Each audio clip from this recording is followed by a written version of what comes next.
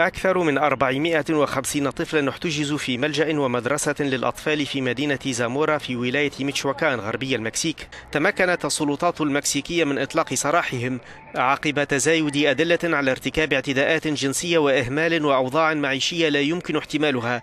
وتقول الشرطة إنه كان يوجد من بين المحتجزين أكثر من 100 شخص بالغ.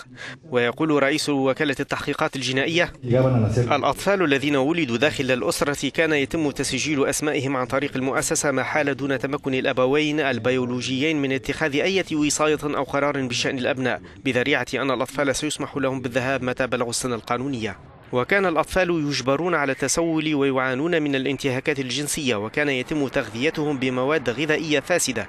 ويخضع مسؤولون في الملجأ إلى التحقيق وهم يواجهون اتهامات بسلب الحرية.